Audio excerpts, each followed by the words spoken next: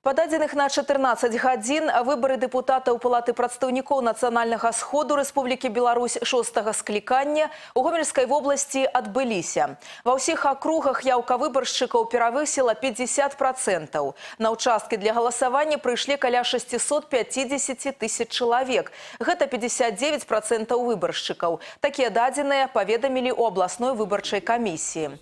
Старшыня камісіі Мікалай Стош прыняў удзел у прэс-канферэнцыі, якую сёння сёння на працягу дня праводзіць цэнтр выбаркам Беларусі. Да размовы ён далучыўся па тэлемосце з Гомеля. Пададзеных на 14 гадзін у гомельскай вобласці прагаласавала звыш 59% ад агульнай колькасці выбаршчыкаў.